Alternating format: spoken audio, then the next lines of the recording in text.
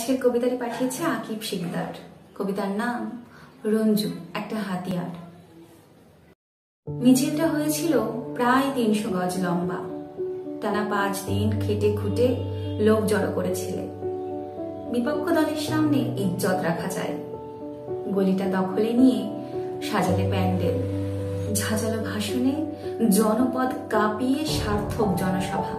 নেতা তোমাকে কাছে ডেকে পরিপাটি চুলগুলো আঙুলে উলুজুলু করে দিয়ে বলল, বেটা বাঘের বাচ্চা, তোর মতো কেজো ছেলে আগে দেখিনি। একেবারে বিপ্লবী যে গুয়ে ভাড়া। তুমি বাহুবা পেয়ে বলে গেলে রঞ্জু। বুঝলে না, ছোটদের বগল বন্দি রাখতে বড়রা এমন প্রশংসার ভাত প্রায়ই পাতেন। পার্টি অফিসে প্রতিদিন কত কাজ, কত পরিকল্পনা। নেতারা তোমায় পিতার মতোই স্নেহ করে। গোল টেবিল বৈঠকে জ্বালাময়ী আলোচনায় রক্ত গরম। বাধা এলে অস্ত্র নেবে, প্রয়োজনে প্রাণ দেবে। অফিসের গোপন ঘরে নেতারা গলা ভেজাতে ভেজাতে তোমাদের হাতে বোতল তুলে দিয়ে বলে, নে বাবারা, খা। শুধু খেয়াল রাখবি যেন হুশ ঠিক থাকে। ভেবে দেখেছ কি রঞ্জু?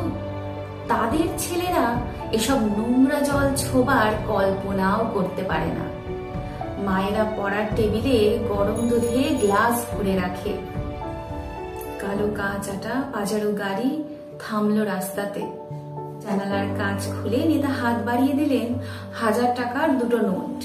বললেন, রঞ্জু, ঝাঁপিয়ে পড় বাবা, মান সম্মানের ব্যাপার। তুমি ঝাঁপিয়ে পড়লে। পেট্রোল, বোমা আর ককটেল হাতে। দুদিন পর তোমার ঠিকানা হলো সরকারি হাসপাতালের নোংরা বিছানা। হাত দুটো উড়ে গেছে। দুপায়ের হাঁটু অব্দি ব্যান্ডেজ একবারও ভাবলে না, তিনি তোমার কেমন বাবা? তার সম্পত্তির ভাগ পাবে? তার কালো কাচের পাজারোটা তোমাকে দেবে?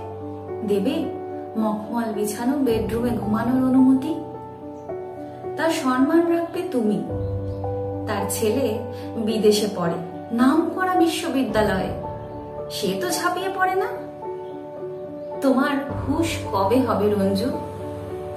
তুমি ছিলে তাদের স্বার্থের হাতিয়ার, কাটা তোলার কাটা।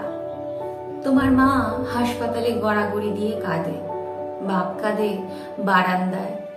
সেই নেতারা তোমার পাতানো বাবারা একবারও তো দেখতে এলো না। বলি, রঞ্জু, তোমাদের হুশ কবে হবে? কবিতাটি ভীষণ রকম ভাবে বাস্তবসম্মত। এরকম ঘটনা আমরা অতীতেও দেখেছি, বর্তমানেও দেখে থাকি, এবং ভবিষ্যতেও যে এর অন্যথা হবে, আমার তা মনে হয় না। এরকম হতেই থাকবে।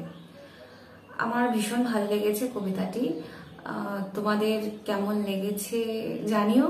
কেমন? আজকের মতো এইটুকুই থাক। সবাই ভালো থেকো সবাইকে ভালো রেখো। কেমন? টাটা।